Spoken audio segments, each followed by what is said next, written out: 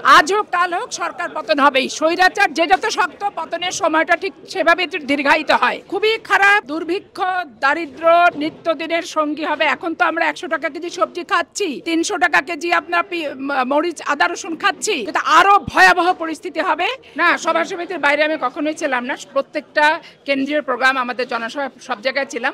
কিন্তু বক্তা হিসেবে আপনারা আমাকে দেখতে পাননি, সেই জন্য হয়তো মনে করছেন নাই। কারণ আসলে বক্তা দেয় তো হয় অঙ্গ সংগঠনের সভাপতি সেক্রেটারি আর সাংগঠনিক অথবা যুগ্ম মহাসচিব থেকে শুরু করে, তা আমার তো আসলে সেই পোস্ট নাই, যার কারণে আমি দর্শক হিসেবে উপস্থিত থাকি। আজ হোক, কাল হোক, সরকার পতন হবেই। স্বৈরাচার যে যত শক্ত পতনের সময়টা ঠিক সেভাবে দীর্ঘায়িত হয়। পতন তো হতেই হবে।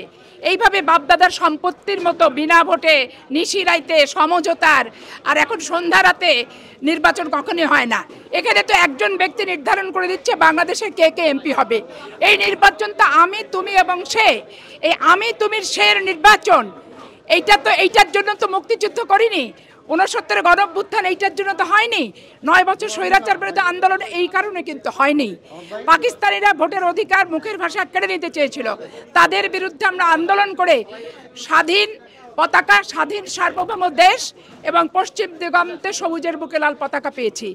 আজকে মুক্তিযুদ্ধের চেতনার ধারক বাহক বলে গণতন্ত্রকে, মুক্তিযুদ্ধকে, পা টিপে, গলা টিপে হত্যা করে রাজনীতির যে নোংরামি, এই যে ধরেন দল ভাঙার নাম করে, দল তৈরির নাম করে ঝিট মানে ঝুটা, আইটা কাটা পরিত্যক্ত ডাস্টবিনে ফেলা, নোংরা জিনিস তুলে নিয়ে বাংলাদেশের যে ন্যাক্কারজনক, নজিরবিহীন নিকৃষ্ট উদাহরণ সৃষ্টি করেছে। এইটা দেশের জন্য, গণতন্ত্রের জন্য, কোনো রাজনৈতিক সংগঠনের জন্য ভালো না। পতন এই সরকার অনিবার্য। আপনি যদি সময়, দিন, ক্ষণ, কাল বলতে পারেন, এটা আমি বলতে পারছি না এই কারণে। যে যত বেশি স্বৈরাচার পতনের কালক্ষণটা ঠিক তত বেশি দীর্ঘায়িতই হয়। স্যাংশন এটা তো আমেরিকার ব্যাপার, আর স্যাংশন তো নিয়ে আমরা তো স্যাংশন চাইও না, নিও না, দিও না। যারা যাদেরকে দেয়, কেন স্যাংশন দিচ্ছে, কি দিচ্ছে, এটা তারাই একমাত্র বলতে পারবে। খুবই খারাপ, দুর্ভিক্ষ, দারিদ্র, নিত্যদিনের সঙ্গী হবে। এখন তো আমরা একশো টাকা কেজি সবজি খাচ্ছি, তিনশো টাকা কেজি আপনার মরিচ, আদা, রসুন খাচ্ছি, কিন্তু আরও ভয়াবহ পরিস্থিতি হবে।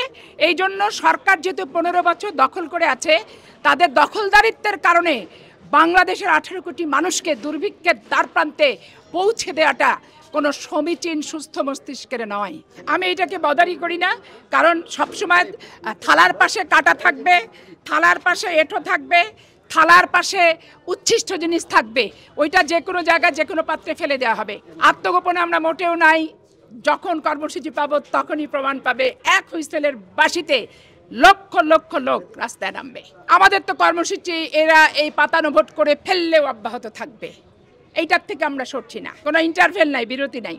আওয়ামী লীগ একটা স্বৈর শাসক, কখনো তারা সুস্থ পরিবেশে ক্ষমতায়ন হয় না। ক্ষমতায় আসার পর সুস্থভাবে তারা কখনোই ক্ষমতা ছাড়ে না।